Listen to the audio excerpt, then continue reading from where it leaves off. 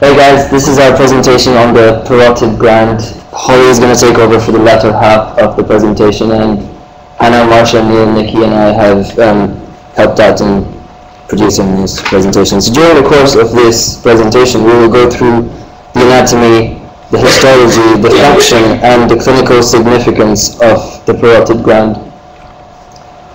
So, uh, parotid gland comes from the word paraotic, which means next to the otic, next to the ear.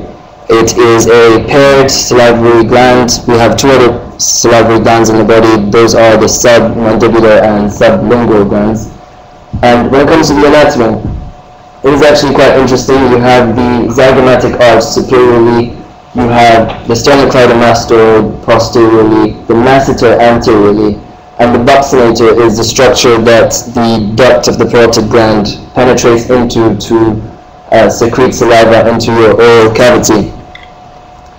Uh, okay, so when it comes to the blood supply of the parotid gland, you have the posterior auricular artery and the superficial temporal artery, which are branches of the external carotid artery, and the retromandibular vein makes up the major venous drainage of the parotid gland. The retromandibular nerve is, vein is a anastomosis of both the internal jugular vein and the external jugular vein. Uh, the innervation is actually quite complex.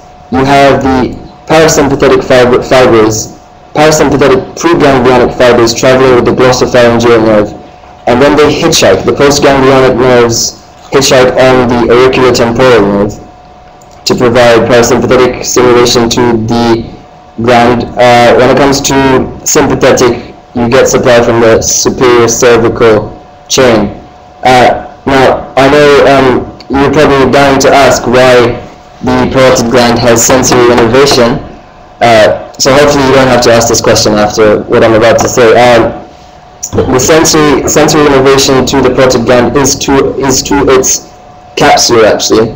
And what that does is that if you do have a lesion of the parotid gland, you'd be able to feel it. Uh, so hopefully that's, um, yeah. Uh, when it comes to the lymphatic drainage of the parotid gland, we have the preauricular and parotid lymph nodes, which are from the deep cervical chain. Other things that penetrate through the parotid gland are the facial nerve and the external carotid artery and the retromandibular nerve, which I, uh, uh, vein, retromandibular vein, which I have mentioned earlier. So, histology. The parotid gland has two capsules. It has a true capsule, which is its own connective tissue, dense connective tissue, and it also has a false capsule, which is an extension of the deep cervical fascia. The fascia splits into a superficial lamina and deep lamina to enclose the gland. On a cellular level, you have short striated ducts, which are made up of simple columnar epithelium, and long intercalated ducts, which are made up of simple cuboidal epithelium. Okay,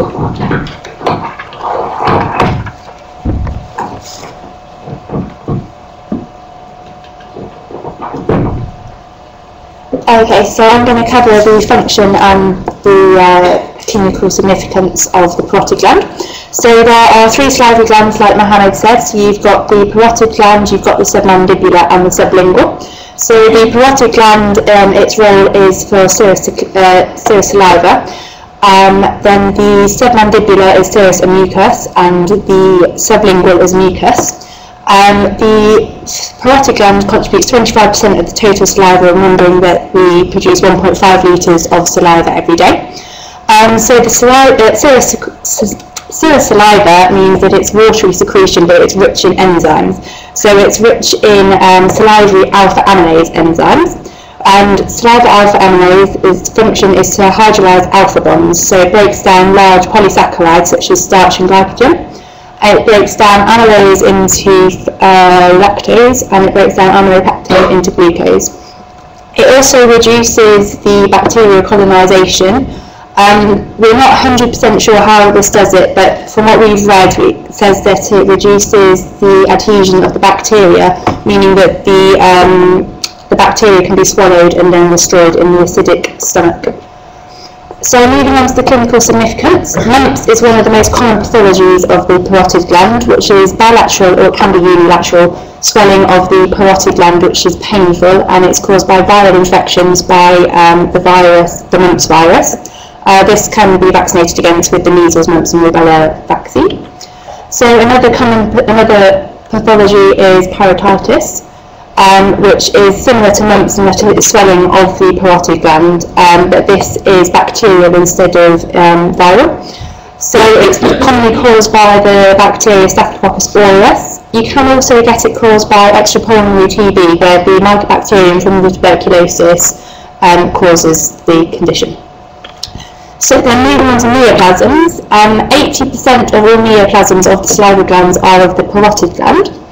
Um, and then 80% of parotid neoplasms are luckily benign, the most common being the adenoma. Um, you can also get malignant neoplasms of the par uh, parotid glands, um, the most common being the mucoepidermoid carcinoma. So finally I'm going to move on to facial nerve palsy, which has been covered quite a lot today. Um, so facial nerve palsy, like uh, other groups of cells, you can get Bell's palsy or complete palsy, um, the difference being in their uh, course length of time.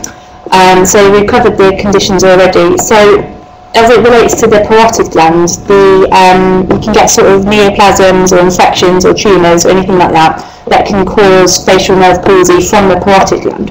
So it won't give, uh, it won't damage things such as lacrimation because that branch is already given off proximal to the parotid gland. But following on from the parotid gland, um, it innervates facial expression. So if there is a problem with the parotid gland, then you'll get such a uh, facial asymmetry due to the damage distal to the parotid gland. Okay, and that's it. So thank you for listening. Have you got any questions?